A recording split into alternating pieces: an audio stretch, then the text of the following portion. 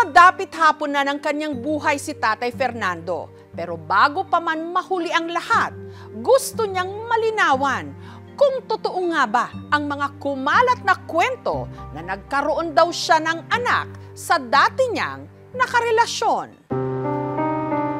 Nasa banig na ng karamdaman ang 83 anyos na si Tatay Fernando. Bukod sa kanyang sakit sa bato, may sakit din siya sa puso. Hirap na rin siyang dumilat.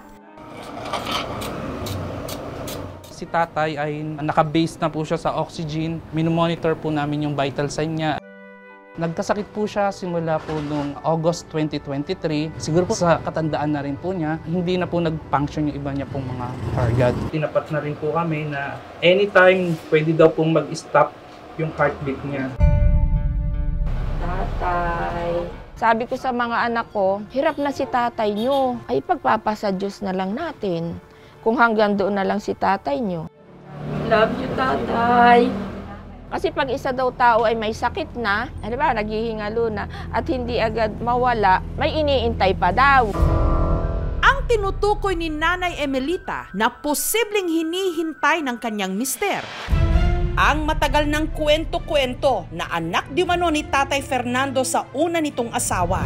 Wala akong kaalam-alam na may lihim pala siya. Ni Katiting, wala man lang siyang nasasabi sa akin. Kung sakaling may anak pa ngang iba si Tatay Fernando, makikilala pa nga ba niya ito bago mahuli ang lahat?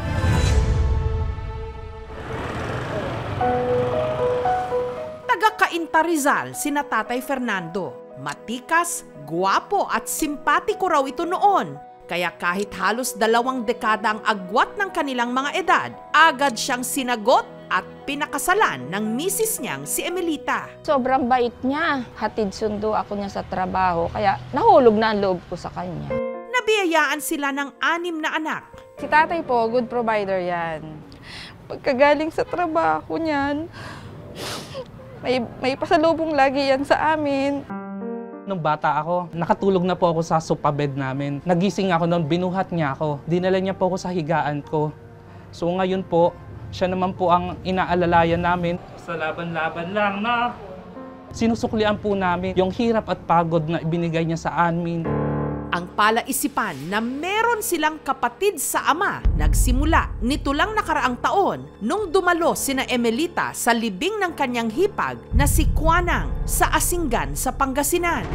Naging bulong-bulungan ng mga pinsan ko na meron daw po kaming kapatid na mas nakakatanda. Sabi ng mga pinsan ko, may isa pa nga kayong panganay eh, lalaki. Kana sa uni mother ko, jempe nga natay. Adama kati kausinsin yung uh, anak ng kalyong nandok. Tatay, Ang itinuturong anak ng kanilang tatay Fernando. Ang 61 anyos na ngayong si Silverio, na kilalang beautician sa kanilang bayan. Ito ang ipinambubuhay niya sa misis niyang si Lynn Marie at sa kanilang mga anak. Sa mga pagmamanicure at sa paggugupit ko. Maayos ko naman po sila na palagi na pag-aral ko sa hirap ko rin naghanap-hanap buhay. Alam ko po kung gaano kasakit po. Kaya ayaw ko pong ma-experience nila yung na-experience ko po na wala silang kagis ng tatay. Lagi po naman yung sinasabi na ano, sana buhay pa yung tatay ko. Matagal na pala isipan daw kay Silverio ang pagkatao ng kanyang ama. Tikom daw kasi ang bibig ng kanyang nanay Loretta hanggang namatay ito taong 2004. Hanggang isang araw, naging customer ni Silverio si Tia Kwanang na buhay pa noon. Ikaw ba yung anak ni Loretta? Oo, Nay. Ah, ikaw pala yung anak ni Nando. Nung siniservisan ko po sila, sabi ni Lola Kwanang, ikaw, ikaw ang anak ni Lando. Nung kinasal sila, Lorita, kayong kapatid ko, hindi naman din po ako naniniwala kasi sinasabi na sa akin ni nanay ko na wala na daw akong tatay, matagal na pong patay. Salamat anak ha. Opo. Inaako nila akong kamag-anak, malapit ako sa iyo. Dekada 50 raw nung nagkakilala sina Fernando at Loretta sa probinsya ng Isabela. Mabilis daw silang nagkapalagayan ng loob hanggang nagdesisyong magpakasal. Pero sa araw ng kanilang pag-iisang dibdib, Humaikan! Agkalma ka! Ay, naku! si Loretta bigla raw nag-iba. Nagwala-wala mo tin kasinsing ko nga nihan nakatisumre kay simbaan. Naina-ina ko na nagsangsangit. Nagtinumot nga kwa kinibinda nga napanjin ti altar. Hindi nakaparantumang danis do kay ni Fernando. Nagkalma mo ni kwa kasinsing ko. Pwede na po si kasaran. Nagwala man na ni kasinsing ko, naglagto-lagto, agikiki.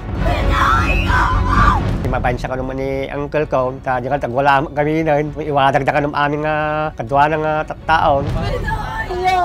So kaya galo dati sa na kan ima na kanong pasakay ti kalisa.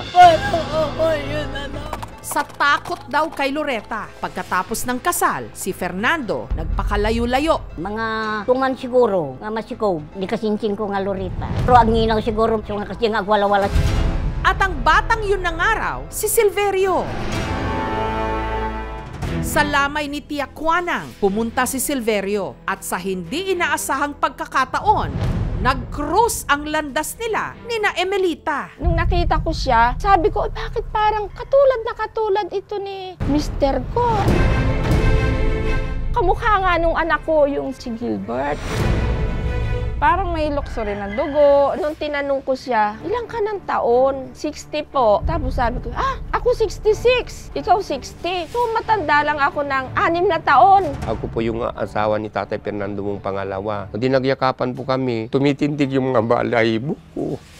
Doon na ipinagtapat ni Silverio kay Emelita na minsan na rin pala silang nagkita. 2013, namit pala niya kami ng mister ko doon sa Burol. Kasi singer siya eh. Ante, alam mo, nag-bless ako sa iyo. Pero nung makapag-bless ako kay tatay, ako ay umiyak na nang umiyak sa isang tabi. Bakit hindi ka nagsabi na ikaw ay anak pala? Natatakot po ako, ante. Baka hindi niyo ako tanggapin. Masakit din pala dito sa dibdib yung nararamdaman mo na gusto kong makapiling yung tatay ko.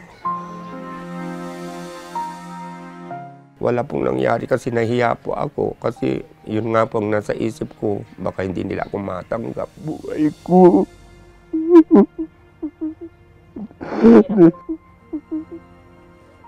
62 years old na ako. Ngayon lang kami nag makakilala ang tatay kong Tanggap man ni na Emelita si Silverio, meron pa rin silang agam-agam. Si Tatay Fernando kasi, nung malakas pa, hindi kinumpirmang nagkaanak sila ni Loretta. Tatay, kilala mo si Laurita? Nagulat din po siya hanggang sa nagkwento na po siya about sa kanila. May alam ka bang may anak ka kay Laurita? Wala daw siya pong anak dahil hindi daw nga po niya naiuwi si Laurita sa bahay after daw po ng kasal. Ang tanong ko naman po sa kanya, baka may nangyari sa kanila bago ikasal. Hindi na rin po siya nag-react. Kaya po, humingi pa ako ng tulong sa KMJS para po sana mabigyan po ng linaw yung katanungan po ng pamilya namin. Para matuldukan ang mga tanong sa hiling ni Silverio at pamilya ni Fernando, sumailalim sila sa DNA test. Kung sakali man po maging positive, malaking tulong po iyon dahil yun po siguro yung kabuuan ni tatay. Dahil pagod na pagod na rin po siya. At sabi nga daw po baka si Kuya Silverio na lang po yung iniintay bago po siya tuluyang mamatay. Mag-ama nga ba sina Fernando at Silverio? Bago ang resulta ng DNA, dahil mahalaga ang bawat oras, pinuntahan na agad ni Silverio sa Rizal nang hinihinala ng marami na kanyang ama para makita ito at makausap. Hello, anak! Andito na ikaw. Nakarating ka sa amin. darating na. Kay tatay, ito. Kumusta na? Katatapos lang ni tatay ng dialysis ko. Nag-dialysis si tatay. Si tatay mo. Mga kapatid mo. Kasi ano, ah, Ay, Thank you, Lord. dialysis niya eh. Thank you, Lord. Nakarating si Silver. Narating mang ang tagal tayo hindi nagkita tayo. Nandito na ako, tatay ko. I love you, tay. Maraming salamat, Panginoon. Dahil ito na ang pinakakaintay ko. Na magkita tayo. Tay, naririnig mo ako, tatay. Nandito na ang panganay mo. Dumating na ako. Ang sarap pakiramdam na nakita kita dati. Mayakap ng gusto. Na kung alam naman ni tatay mo na ikaw ay isinila, na, ipinanganak niya at hindi ka naman talaga pababayaan niya. Ganyan kamahal ng ni tatay mo ang mga anak niya. Hindi man lang pinagtapat ni nanay ko noon na mayroon din pala kayong anak. Ako yon, ako. Ako tatay ang iniwan nyo na ang tagal-tagal ng panahon.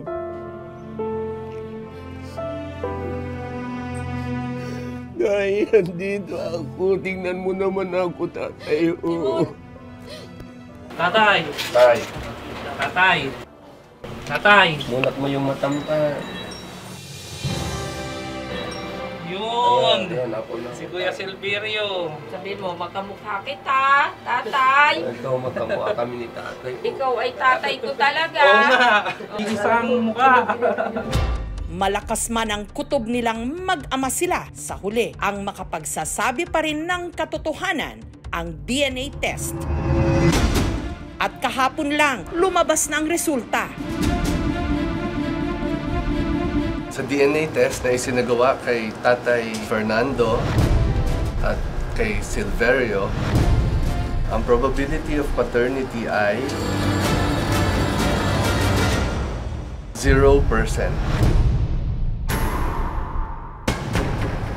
Hindi po si Fernando ang biological father ni Silverio.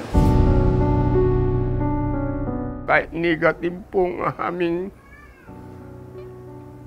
DNA, mahal ko pa rin dahil wala po akong ama. Sina lang po ituturing kong tatay ko. Wala rin din po ako kapatid at sina, sila na rin po ang aking mga kapatid. Maraming salamat po dahil kahit, kahit papano po, pinagtagpo mo kami na kahit hindi ko sila kaano-ano. Maraming salamat po, Lord, dahil may nag... Negative po yung naging result. So nakakalungkot lang po sa part niya. Dito lang rin kami kuya ha. Basta I love you, Gilbert. dito lang kami. I love you, Huwag Nana. kang mag-alala na. Anak pa rin kita. Sa tagal nang ipinagtiis mo na wala kang kilalang tatay. Tanggap ka namin, anak. Kayo ang nagbigay ng aking kasiyahan sa araw na ito. Dahil ang sarap yung magmahal ng magkakapatid. May nanay, may tatay, kumplito kayo. Nanawagan po ako kung nabubuhay ka pa. Sana tatay, magparamdam ka sa akin. Dahil ako pinangungulila at naghahanap ng tunay na ama. Kahit pala isipan pa rin magpahanggang ngayon kay Silverio ang tunay niyang ama, ipinagpapasalamat na lang daw niya Embrace tayong lahat. na sa pangyayaring ito, nakatagpo siya ng mga tao na itinuturing siyang higit pa sa tunay na kadugo.